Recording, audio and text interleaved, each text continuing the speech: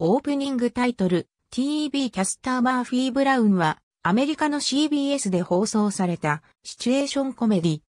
ワシントン DC にあるテレビ局の架空のニュースショー FYI を舞台に、キャンディス・バーゲンがタイトルロールの人気女性キャスターを演じた。エミー賞コメディ部門において、シリーズを通して13回ノミネートされた。うち、作品賞を2回、キャンディス・バーゲンが主演女優賞を5回受賞した。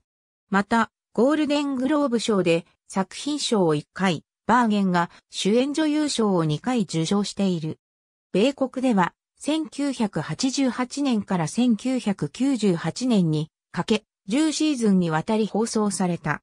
日本では NHK で1994年から1995年にかけて第3シーズンまでが放送された。その後、スーパーチャンネルでも同内容のものが放送されている。